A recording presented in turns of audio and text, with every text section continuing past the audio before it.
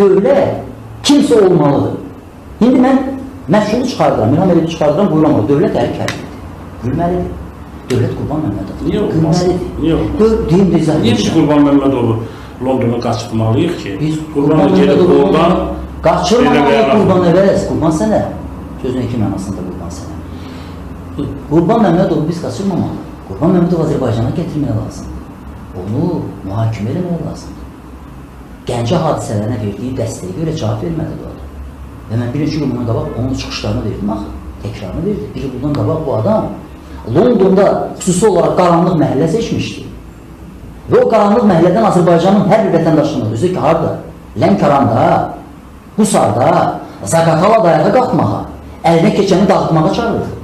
Belə bir adamın Azərbaycana gətirilməsi lazımdır, əlbəttə qaçılması mənəvi. Müddət gəlməlidir o. Müddət gətirilməlidir, burada ədalət olmalıdır. O cavab verməlidir Azərbaycan qanunu qarşısında. Necə olur ki, ANS cavab verir, cəzasını çəkir. Qurban Məmmədov cavab vermir, sual verir, ağzına gələn danışır və cəzasını ANS olur. Qurban Məmmədov ANS qayıtmır. Sadəcə olaraq mən demək istəyirəm ki, var ANS qurban olur.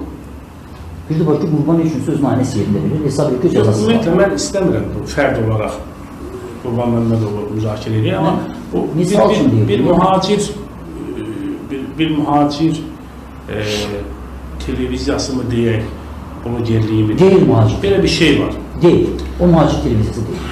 Evet, Azərbaycana ciddi şəkildə hər gün təxribatlar püskürən, Azərbaycanın vətəndaşlarını günün müxtəlif saatlarında Azərbaycanda sabitliyi pozmağa çağıran, dövlətin qanuni, konstitusiyon quruluşunu zoraki yolla devirməyə çalışan bir adam kimi hər gün təhlükə saçır. Və bu adamla heç vaxt mühacir televiziyası haqqında danışmaq olmaz. Vaxtilə hardansa qopan bir mikrob, əxlaqsız sütünyor, gəlib düşübdür indi bütün Azərbaycana bu qiyməti verir.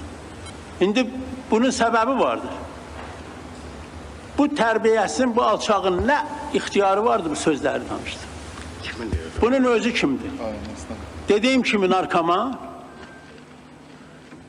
Kimdir? Adını qoyub Mirşahın, əslində Mirfaşədir. İndi gəlib elənçi bir alçaq, vaxtı ilə hansısa fahişədən qopmuş mandaloşka. Gəlib Cəlal Əliyevə gör nələr deyir.